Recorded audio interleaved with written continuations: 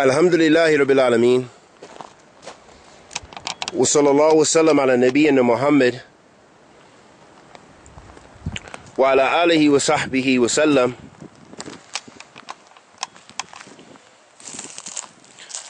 أما بعد The Prophet sallallahu alaihi wasallam as we can never get enough reminders about purifying our intention to Allah subhanahu wa ta'ala.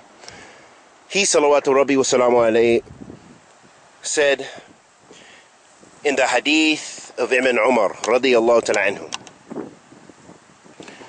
Uh, the hadith of Umar bin al-Khattab radiyallahu ta'ala anhu said سمعت رسول الله صلى الله عليه وسلم يقول إنما أعمال بالنيات وإنما لكل امرئ مناوة فمن كانت هجرته إلى الله ورسوله فهجرته إلى الله ورسوله ومن كانت هجرته للدنيا يصيبها أو امرأة ينكحها فهجرته إلى ما هاجر إليه In the hadith of Umar radiallahu ta'ala anhu who said that the messenger of Allah sallallahu that he heard the messenger of Allah sallallahu alaihi wasallam say verily actions are tied to the intentions and everyone will get that for which he intended.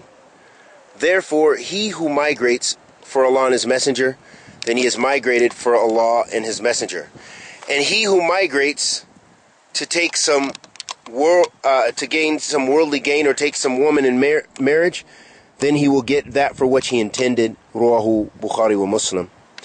In this hadith, the Prophet wasallam's hadith, Azim, which many of the books of aqid, uh, of of uh, hadith and fiqh begin with this hadith of Umar bin al-Khattab radiallahu anhu said that I heard the Messenger of Allah sallallahu wasallam say, verily actions are tied to the intention. And this is because the niyyah is one of the conditions for our ibadah. Our intention is a conti- condition for worshiping Allah subhanahu wa ta'ala that you must you must purify your intention and make sure that you're worshiping only Allah alone, that it's sincere to Allah subhanahu wa ta'ala. You're worshiping only Allah ta'ala. That's ikhlas lillah. And then the second condition for ibadah is that it's in accordance with the sunnah of the Messenger of Allah sallallahu alayhi wasallam. So our fasting, our hajj, our umrah, our prayer, all of the sacrifice that we do, it must be for the sake of Allah subhanahu wa ta'ala, to please Allah. And it must be in accordance with the sunnah of the Messenger of Allah sallallahu alaihi wasallam if we want it to be accepted. Because it's ibadah.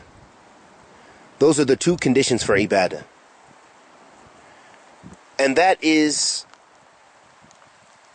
something no Muslim just practicing that in the most general way will find safety and security from bid'ah, from going astray, and innovating in the religion. Because if you ask yourself that whatever you're doing, am I doing it for Allah? And am I doing it in accordance with the sunnah the Messenger of Allah? Then you'll find safety. If you can answer yes. And that's why we must strive our best to worship Allah subhanahu wa ta'ala alone and to have sincerity and to follow the sunnah of the Messenger of Allah sallallahu alayhi wasallam. And we ask Allah the Almighty to accept our good and forgive our evil and bless us to be of those who follow the sunnah. وصلى الله وسلم على نبينا محمد وعلى آله وصحبه وسلم